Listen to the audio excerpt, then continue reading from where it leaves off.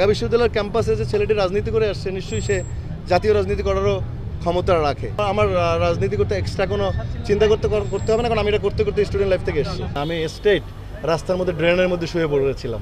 বিয়ে করলেই তো বাসি হয়ে গেলাম এই জন্য একটু একটু সময় নিচ্ছি। একটু সময় নিচ্ছি যে একটু করলেই আসলে অনেকের মন ভেঙে যাবে, আমি জানি। ইনবক্সে সবাই বলতে থাকে প্লিজ এভাবে থাকেন, বিয়ে করেন না। তো যার কারণে বিয়ে করি না, আর আমি বললাম, না, আমার চোখ শুধু ঘুরে অনেক সৌন্দর্য যেখানে থেকে সুন্দরী ভালো সৌন্দর্য সুন্দরী দেখলে আমার ভালো লাগে তাকাই। তো ঠিক আছে এই সৌন্দর্য প্রিয়তা চলতে থাকুক। যখন আল্লাহ তালা বলেছেন বিয়ে হবে বা আল্লাহ তালা যখন লিখে রেখেছেন বিয়ে ইনশাল্লাহ আলহামদুলিল্লাহ তখন বিয়ে হবে নিশ্চয়ই। একটাই বিয়ে করব এবং সেটা আপনাদেরকে জানিয়ে ঘটা করেই করব ইনশাল্লাহ বিয়ে। জায়েদ খান কি বাংলাদেশের জাতীয় রাজনীতিতে আসবে কিনা সামনে সংসদ নির্বাচন? আসলে রাজনীতি তো আমি ছোটোবেলা থেকে করেছি। ঢাকা বিশ্ববিদ্যালয়ে যখন পড়েছি তখনও রাজনীতি করেছি এবং আপনারা জানেন আমি আওয়ামী লীগ সাংস্কৃতিক বিষয়ক উপ কমিটির যে মেম্বারও আমি। রাজনীতি তো আমি আসলে শিল্পী সমিতি তো করেছি এফডিসিতে করেছি, রাজনীতি তো আমার রক্তেই। আর ঢাকা বিশ্ববিদ্যালয়ের ক্যাম্পাসে যে ছেলেটি রাজনীতি করে আসছে, নিশ্চয়ই সে জাতীয় রাজনীতি করারও ক্ষমতা রাখে। তো আসলে এটা ডিপেন্ডস করে আমার নেত্রী, আমার প্রাণপ্রিয় নেত্রী, জননেত্রী এবং মানবতার মা, মাননীয় প্রধানমন্ত্রীর উপরে। উনি যদি কখনো প্রয়োজন, নিশ্চয়ই চেনে নামে বা শিল্পীদের ওনার কাকে কোথায় দিতে হবে।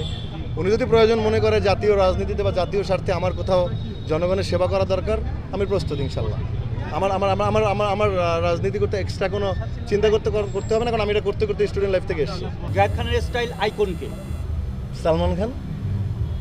আমি তো কখনো কিছু লুকিয়ে চুরিয়ে কথা বলি না আপনারা জানেন আমি ওয়ালায় স্ট্রেট ফরওয়ার্ড কথা বলি বা ভনিতা করে কথা বলি না এটা আমি ছোটোবেলা থেকে আমার অভ্যাস।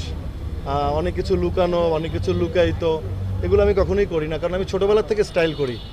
আমি যে আপনি যদি আমার ছোটোবেলার ছবি দেখেন, আমি দেখাবো। সে সময় আমি ছোটোবেলা আমার মনে আছে, আমি যখন ক্লাস ফাইভে পড়ি, আমার বাবার সাথে আমি ঈদের জামা কিনতে গিয়েছিলাম। এটা তখন নতুন জামা বানিয়ে বের হয়েছিল, এখানে বুকে লেখা ইউএস আর্মি হাতা হাতা ফোল্ড করে এখানে ফিতা লাগানো থাকতো। আব্বা এটা কোনো মতেই কিনে দিবে না, বলল এটা মাস্তান টাইপের মনে হয়, তুমি পড়াশোনা করে এটা হবে না। আমি স্টেট রাস্তার মধ্যে ড্রেনের মধ্যে শুয়ে পড়েছিলাম।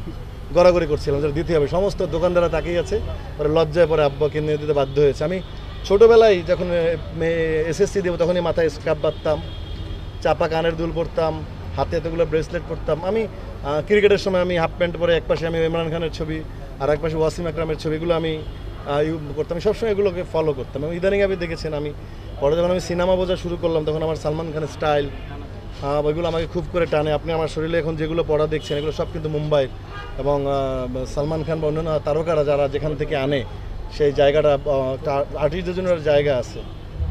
আন্ধেরি বলে জায়গাটার নাম, লক্ষণওয়ালার আন্ধেরি জায়গা আছে।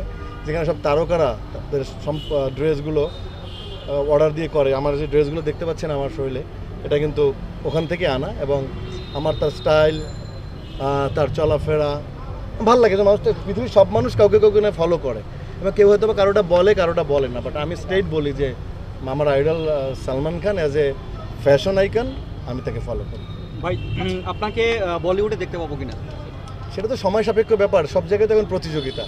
বলিউডে এখন অনেক প্রতিযোগিতা নেটিজম চলে অনেক। তারপর হচ্ছে আপনারা জানেন যে ওখানে যার যার ফ্যামিলির থেকে যারা আসে তারা আসলে ওখানে সুযোগ পায়। ওখানে বাইরের থেকে এসে আমি তো কয়েকবার গিয়ে বুঝলাম এখানে স্ট্রাগল করা এবং ওখানে পিয়ার করা মানে যেটা বলে পাবলিক রিলেশনশিপ এবং সবচেয়ে বড় কথা ওরা, ওখানে ওরা পারিবারিকভাবে যে ফ্যামিলির থেকে আসে, তাকে এরা আসলে বেশিভাবে এরা আনে, টেনে নিয়ে আসে। এবং মুম্বাইয়ের কিন্তু দেখেন ফিল্ম ইন্ডাস্ট্রির অবস্থাও কিন্তু আগের মতো নাই। কারণ ওরা এখন কিন্তু তামিল নির্ভর, তামিল চাপে, তেলেগু চাপে, তাদের অবস্থা কিন্তু অনেক খারাপ। তারা এখন নিজেদের দর্শক বাড়ানোর জন্য দেখেন, সালমান খান বলেন, শাহরুখ খান বলেন, তারা তামিলের সুপারস্টারদেরকে নিয়ে একটা অংশ, বিশেষ করে আপনারা প্রমাণ দেখতে পাচ্ছেন, কিসিকা ভাই, কিসিকা জান ছবিতে, একটা অংশ কিন্তু পুরো তামিল তেলেগুতে শুটিং হয়েছে এবং পুরা সেই তামিল তেলেগু আর্টিস্ট নিয়ে। এরা উদ্দেশ্য কিন্তু একটাই, দর্শক বাড়ানো। এবং দেখেন, যে মুহূর্তে দর্শক করা, সেই মুহূর্তে সালমান খান শাহরুখ খানের ছবিতে সালমান খান কেমিও করেছে, পাঠান ছবিতে। আবার সালমান খানের ছবিতে কিসিকা ভাই, কিসিকা জানে আপনারা দেখেছেন, তামিল সব সুপারস্টাররা কাজ করেছে।